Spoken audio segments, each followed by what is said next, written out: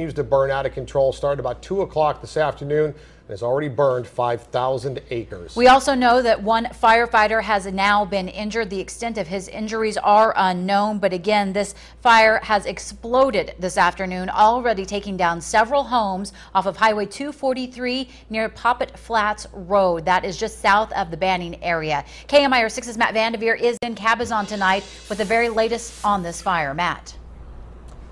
Elizabeth, it's the Silver Fire located on Poppet Flats Road near Highway 243. Now, Highway 243 is actually shut down, and like you said, this just burst today. We're at 5,000 acres. We'll go ahead and pan over to what this fire looks like from our view here in Cabazon. Now, one thing that folks may be noticing is, of course, the smoke. Now, the wind is really picking up, and the smoke is actually carrying, uh, the wind is actually carrying the smoke on into Palm Springs, Desert Hot Springs, Palm Desert, making visibility extremely tough. So, driving uh, really cautiously is going to be important. Areas of Palm Springs, um, seeing ash, areas of uh, Palm Desert and Desert Hot Springs, just incredibly smoky. Now, there are mandatory evacuations for Poppet Flats, Twin Pines, and Silent Valley. Uh, you'll remember also uh, uh, uh, years back, uh, the Esperanza fire, that also started just around this area and actually took the life of uh, five firefighters.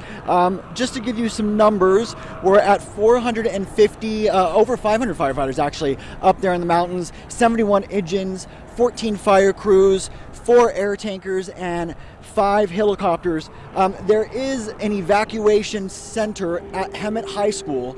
Uh, now that's located at 41701 East Stetson Avenue. Uh, this fire just sort of out of nowhere um, around 2 o'clock today.